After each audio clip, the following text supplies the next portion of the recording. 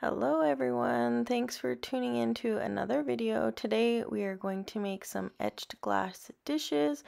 I just picked these ones up when they were rather inexpensive and we're just going to have a little fun testing them out. So I've gone ahead and already made my designs on my program and printed them on my vinyl cutter. So I've made a vinyl stencil. Here I'm just weeding out the vinyl that I don't need and leaving what I do need.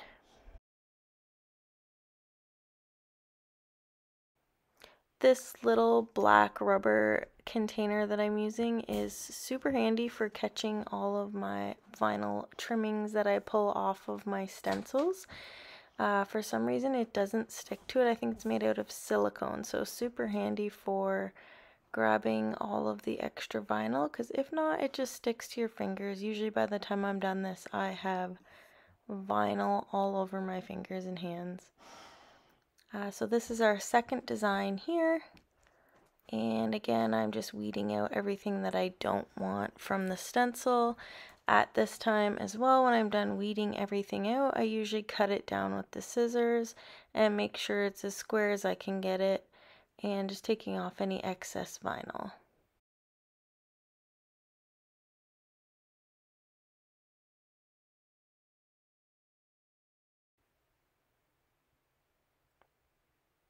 Alright, so these are the inexpensive glass dishes that I just picked up just to play with this. Uh, but one thing that you can do is like a baking dish, like a large glass baking dish. You could put anything, pretty much anything you'd like, like on the bottom of it.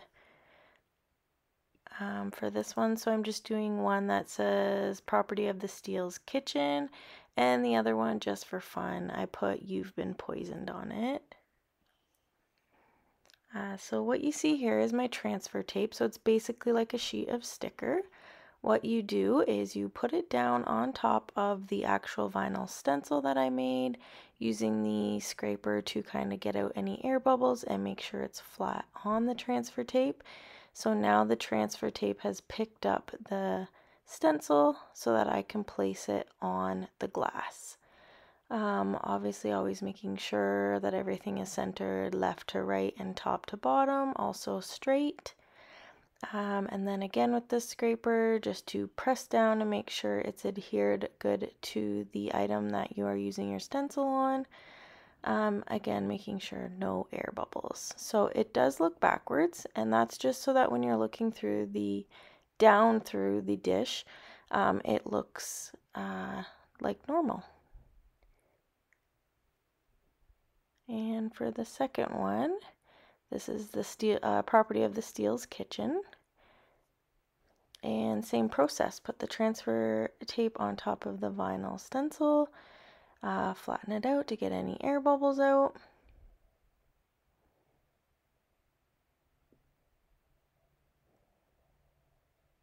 Then you just want to stick it on the bottom of your dish and obviously making sure everything is clean and making sure it's centered.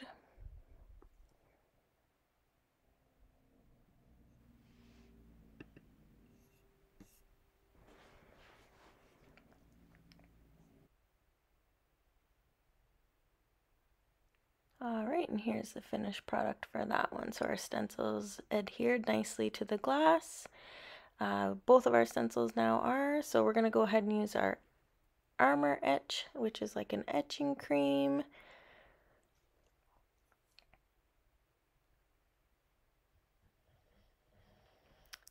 It's pretty easy to use, so all we're going to do is just use like, I use like a coffee stir stick, or you can use a pops popsicle stick.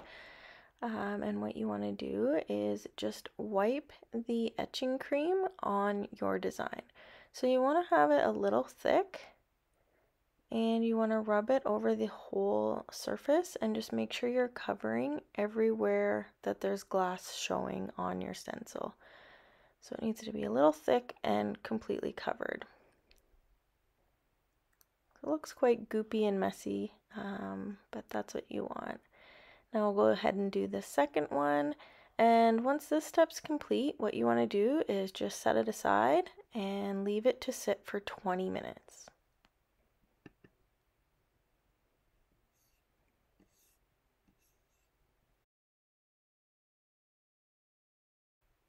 Alright, so here we are 20 minutes later, uh, ready to clean off our etching cream. The nice thing about this is we did put a lot on there to begin with, but now we can actually wipe off the excess and save it for our next project. Um, all that's going to adhere to the glass is the layer that is touching the glass. So all the excess you can wipe off, like I said, save it for your next project which is really nice because it makes this uh, armor etch go a long way. Um, so it's in there. It doesn't look very bright or anything when you're making it when it's wet, um, but after you'll see that it stands out quite nicely on the glass. So here you'll see I'm just peeling off all the vinyl now.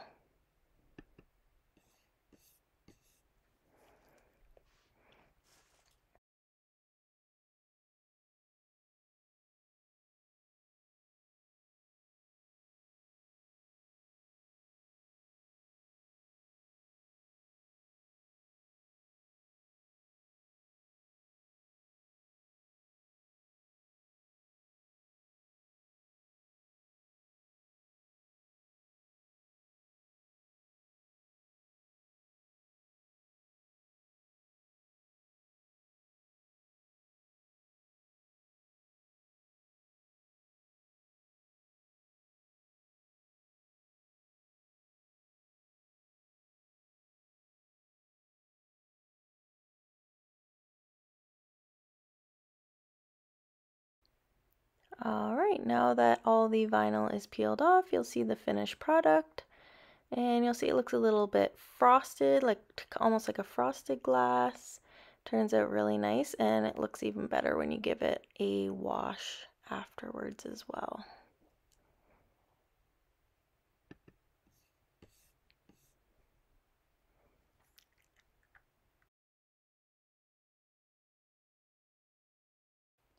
And now I'll just go ahead and complete the second one.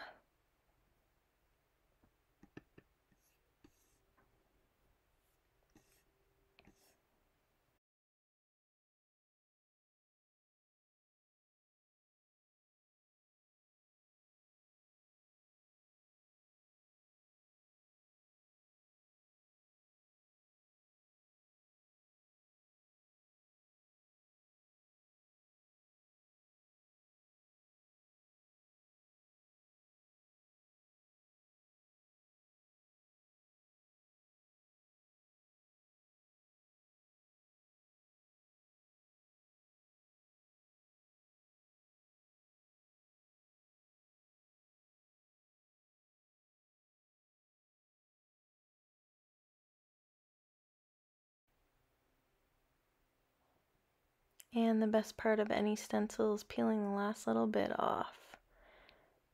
And there we go, the finished product. These are super hard to get pictures of sometimes, but hopefully you can make them out good. Uh, so I just tested out to, uh, to start. I hope you guys enjoyed the video. Comment down below what you think of the glass dishes or maybe something you'd like to get on your glass dish. Thanks for watching.